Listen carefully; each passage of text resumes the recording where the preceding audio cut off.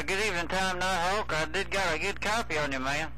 Hey, uh, nothing in the world going on over in three trying to get it back. Golly, 103, you smoking up in the sand pile, man. We on Golden Beach, just uh, enjoying a vacation, man. Been on vacation, and so uh, night I'll be able to just get it right. Hey, one oh, I'm bound skip shooter. He's got them all down right now. My regime, the sand pile.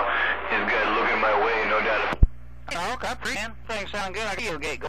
It over to let you know what uh, mobiles. Okay. Hey, uh, nice you uh, moving mobile on vac, man. Well, good one. Found a real Buckeye night, 103 in the mail. Right.